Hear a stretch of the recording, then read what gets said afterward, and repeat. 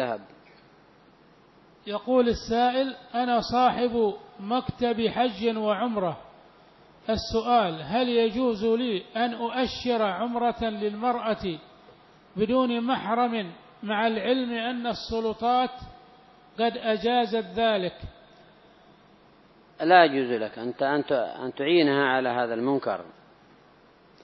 ولا تسعى في سفرها بغير محرم فإن أعنتها أشاركتها في الإثم بهذا الفعل. فلا يجوز لك أن تسعى في تأشيرة ولا في أي سبب من أسباب خروجها بغير محرم. سواء أذنوا لها أو لم يأذنوا. الحكم الشرعي مبين في كتاب الله وسنة رسوله صلى الله عليه وسلم. الحكم الشرعي أبانت عدة أحاديث.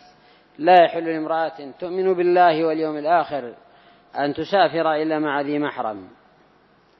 فما دام لا يحل لها التعاون معها على ما لا يحل آثم.